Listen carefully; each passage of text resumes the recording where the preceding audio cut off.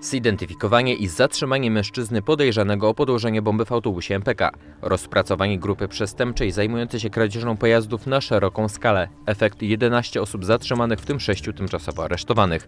Policjanci wpadli na trop korupcji w środowisku naukowym. Wszczęto trzy śledztwa. W każdym przypadku z zebranego materiału dowodowego wynikało, że dochodziło do wyłudzania grantów przeznaczonych na badania naukowe. Jak dotąd przedstawiono w sumie 100 zarzutów 32 podejrzanym i udowodniono wyłudzenie ponad 4 milionów złotych. W 2000 2016 roku przechwycono łącznie blisko pół tony różnego rodzaju narkotyków, m.in. marihuany, amfetaminy, metamfetaminy, haszyszu, heroiny i kokainy. Wielkim sukcesem było również zabezpieczenie 11 ton krajenki tytoniu o wartości 6 milionów złotych, a także kompletnej linii produkcyjnej wytwarzającej krajankę, w tym maszyny o wartości kilkuset tysięcy złotych. Podejrzany został tymczasowo aresztowany. Rok 2016 był bezpieczniejszy od poprzedniego. Odnotowano o 31% mniej zabójstw, 14% mniej rozbojów, 12% mniej pobić i bujek, a także mniej włamań i kradzieży. O 75% spadła liczba kradzieży samochodów na Dolnym Śląsku od 2000 roku.